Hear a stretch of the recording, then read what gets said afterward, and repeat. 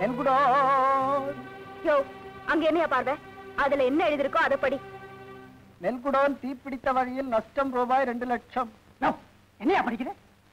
நெல் குடோன் நெல் வித்த வகையில் லாபம் ரூபாய் ரெண்டு லட்சம்னு எழுதியிருக்கு. தப்பா படிக்கிறார் சின்ராசு. இந்த கேப் மார்த்தனம் எல்லாம் என்கிட்ட வேண்டாம். என்ற வீட்டுக்காரர் நல்லா படிச்சவா எல்லா விவரத்தையும் வெளியவே என்கிட்ட சொல்லிட்டா.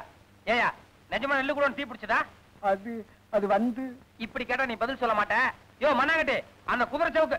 இந்த மாதிரி சமாச்சாரத்துக்கெல்லாம் குதிரை சவுக்கு சரிப்பட்டு வராதுங்க. இது ஆன சொல்ற துப்பாக்கி இதுக்கு ஒழுங்கான பதில் கிடைக்கும் இந்தாங்க. மரியாதையா உண்மையை சொல்லு.